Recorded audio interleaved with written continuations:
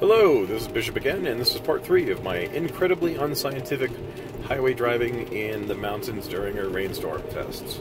So right now I'm on Highway 24, uh, which is the highway that I was mentioning in one of the previous videos in this sequence about how the autopilot is behaving during very sharp turns on windy mountain roads where there's not necessarily a lot of forward visibility. So right now, this is very interesting. So you can actually see what the car is kind of doing.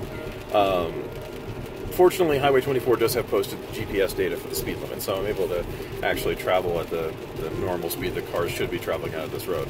Um, I am keeping a really close eye on the autopilot right now. However, because I don't blame it right now for what it's doing, but it's ping pong, it's oh, swerving, swerving, swerving. Okay. Got control again. Uh, if it goes much worse than this, I'm going to take over. Basically, what's happening is, yeah, okay, taking over. Uh, basically, what's happening is because the roadway is wet, and we are heading west in the afternoon, so we're heading towards the sun. Um, there's quite a lot of reflection on the road. Even me as a human driver, using my human eyes, which granted are slightly augmented by the fact that I'm wearing glasses because I don't have that great eyesight without them, um, I'm having actually a lot of difficulty making out the lane lines myself. Now, it didn't actually leave the lane at any point, um, but it can't see the lane lines very well, and neither can I, honestly. And I'm sure you can probably see this in the video as well. The lane lines are not very visible right now.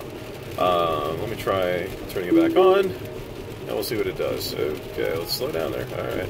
So what it's doing is, I, I think it's basically catching a lane line on one side or the other. It's doing the ping pong effect that the previous autopilot um, had problems with in wide lanes. Yeah, okay, that's way too swervy. So I'm taking back over. Um, where if the lane were significantly wider than the car, uh, basically, what the car would do is it would grab one lane or line or the other lane line, and sometimes it would have difficulty making up its mind about which lane line it wanted to stick to, so it would end up bouncing back and forth between them, ping pong effect. That's exactly what it's doing right here, and normally I would be perfectly inclined to let it do that as long as it's staying within the lane.